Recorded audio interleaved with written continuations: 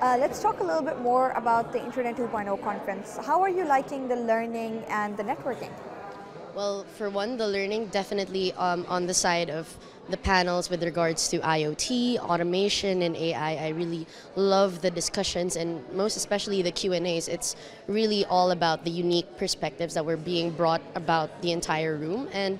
Um, for the networking, definitely, I really appreciate uh, these lunch networking hours, you know, before and after, and even actually during the panel sessions when people are asking questions, even like uh, it gives us a chance as participants to talk more and appreciate all the discussions moving forward. We're so glad you have such amazing feedback to give us.